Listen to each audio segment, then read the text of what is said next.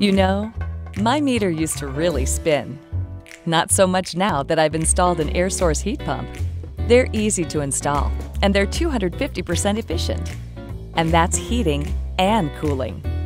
For more information on air source heat pumps, contact your local Touchstone Energy Cooperative. You know the best thing? My meter, it doesn't spin as fast as it used to.